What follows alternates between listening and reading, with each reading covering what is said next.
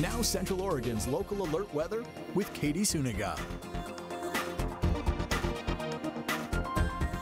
Another mostly clear look off the Mount Bachelor camera toward the Three Sisters. A few clouds in the sky, and really this is the image that we are expecting to see through the rest of this week. Clouds coming and going, blue skies, cloudy skies, and then a mixture of both. What a beautiful sky we see here out at Prineville Reservoir. And this is something we also saw yesterday, a mostly clear satellite radar image, pretty much an identical shot to what we saw yesterday. Rain to our north, a few clouds moving through the Portland area, and then a few of those clouds coming across the Cascades and making their way here into central Oregon.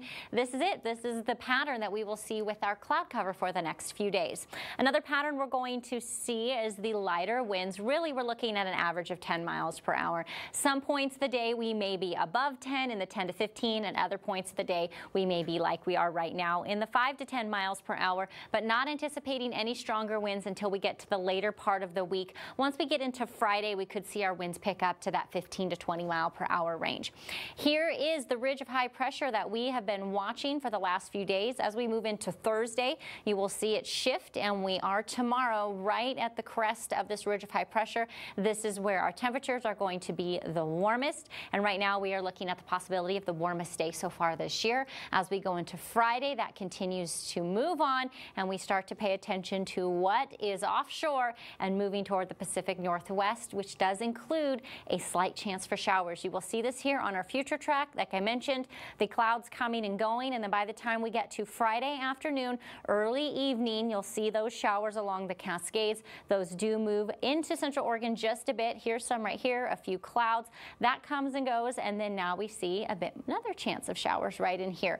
This chance for rain is a very small one, and if it does, it's not going to accumulate to very much precipitation, just a few light showers as we go through the evening.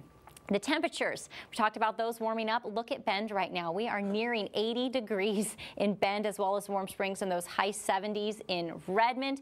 Tonight we look at those temperatures staying much on the warm side, looking at the upper 30s to low 40s. This is the warmest night we have had in quite a while. And then tomorrow we all have a chance to warm up even more. Look at this high 70s to low 80s. In fact, we all could have that chance to make it into the 80s, just like we all had the chance to make it into the 70s today. Looking ahead on our seven day, we do begin to cool off on Friday as that cold front heads in. There is that slight chance for rain that we mentioned on Saturday. We average out on Sunday and then begin to warm back up again on Monday.